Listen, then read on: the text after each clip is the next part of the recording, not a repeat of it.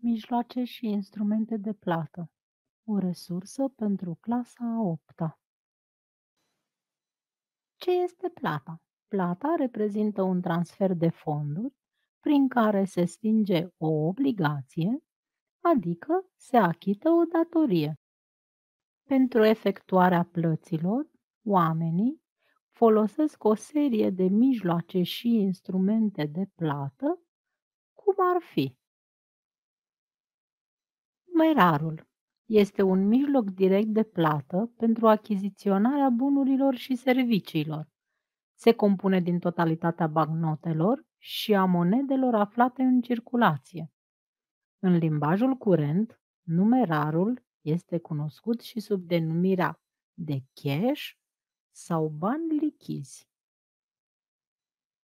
Un alt mijloc de plată este cardul. Cardul este un instrument de plată confecționat din material plastic, iar în interior are un dispozitiv electronic numit chip, pe care sunt stocate informații despre posesorul cardului și suma de bani aflată la bancă. Cardurile pot fi carduri de debit, extrag banii direct din contul deschis la bancă pe numele beneficiarului pentru efectuarea unor plăți. Cardurile de credit permit efectuarea plăților cu bani împrumutați de la bancă, care trebuie restituiți la o dată ulterioară.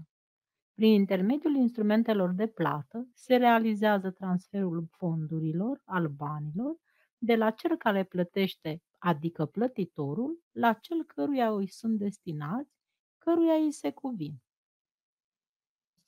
În prezent, plățile se pot efectua și prin internet banking, care este un serviciu online oferit de bancă gratuit sau contra unei taxe lunare, care facilitează efectuarea plăților prin intermediul unei platforme ce poate fi accesată pe baza unei parole.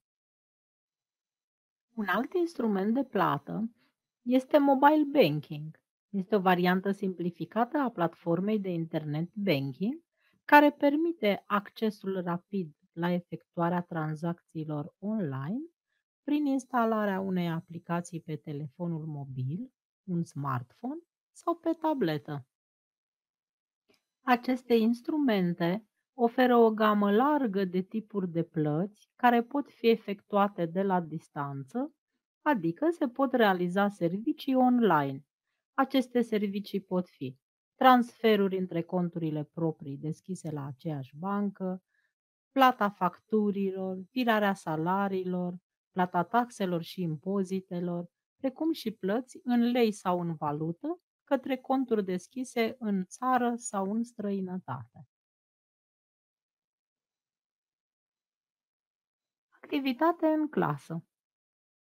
Prezentați trei avantaje și trei dezavantaje ale utilizării cardurilor bancare, inclusiv în perioada pandemiei de COVID-19.